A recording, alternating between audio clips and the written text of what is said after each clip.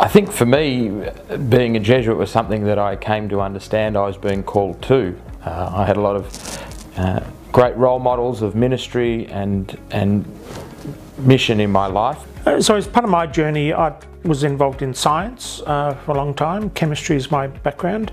Uh, and so I had my chemistry world and my chemistry friends. Uh, but I was also quite involved in the church at the time uh, and quite committed to my faith. And so I had my religion world and my religion friends.